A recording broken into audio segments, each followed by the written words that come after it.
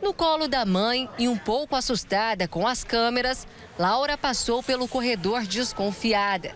Mas logo voltou de vestido vermelho e se sentindo à vontade para se despedir do hospital.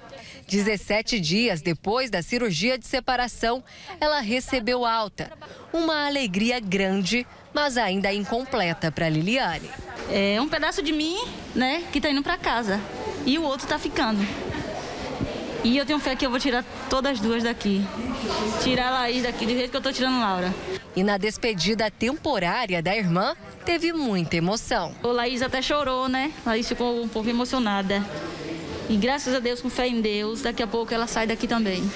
A notícia da alta já foi dada para toda a família, inclusive para os irmãos mais velhos, de 18 e 10 anos de idade. A família está sempre do lado da gente, todo mundo querendo saber o que está acontecendo, todo mundo queria estar tá aqui, ou a gente lá na Bahia.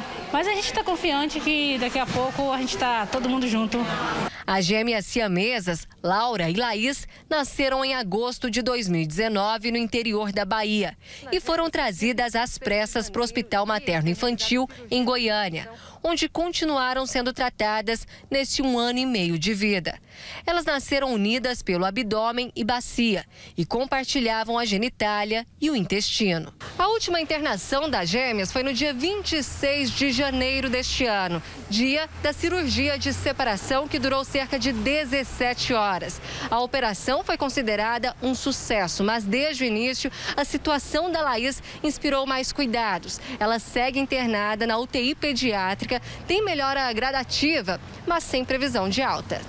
A Laís se encontra ainda na UTI sob cuidados intensivos porque ela teve uma complicação no quarto dia de pós-operatório. Por quê? Ela era muito dependente do organismo da irmã, porque eles são muito interligados.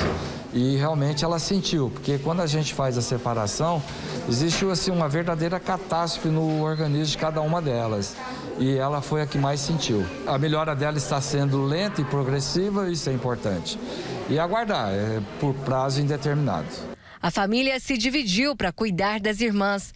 Laura vai continuar em Goiânia em uma casa de apoio junto com a tia e segue sendo acompanhada pela equipe médica.